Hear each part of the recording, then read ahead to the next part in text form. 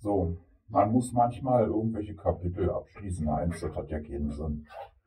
Ja, ich sitze hier in der Badewanne. Ich habe noch ein bisschen was zu tun heute im Haus. Ich muss die Böden wieder dampfen. Das mache ich ja einmal die Woche. Da will ich noch Staub wischen.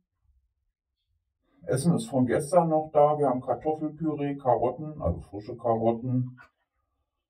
Als Beilage mache ich ein bisschen Ei. Ja, wir haben kein Fleisch mehr. Beziehungsweise das Fleisch, was wir da haben, wollen wir als Burgerfleisch verwenden. Und ähm, ja, ich will mich hier auch nicht allzu lange aufhalten. Ja. Ich wünsche euch einen schönen Tag. Macht das Beste draus, genießt es einfach und ja. ja.